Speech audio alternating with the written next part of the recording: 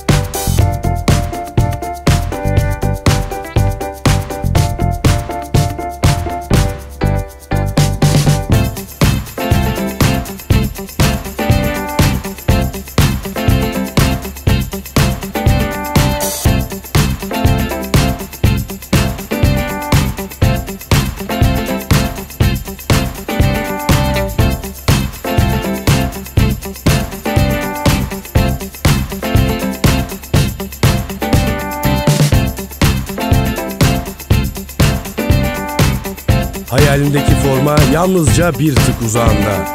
jogo.com.tr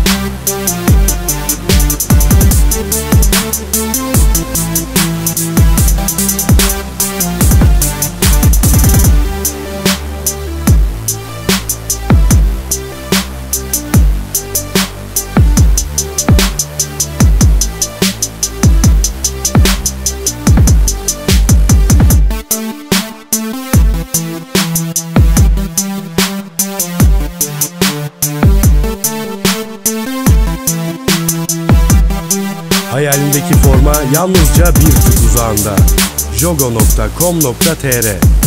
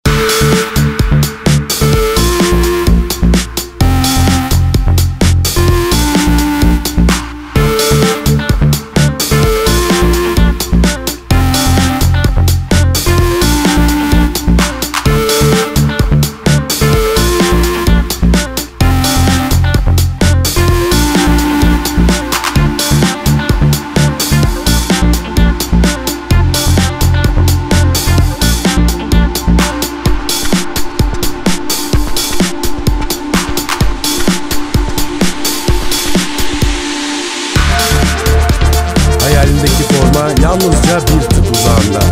Jogo.com.tr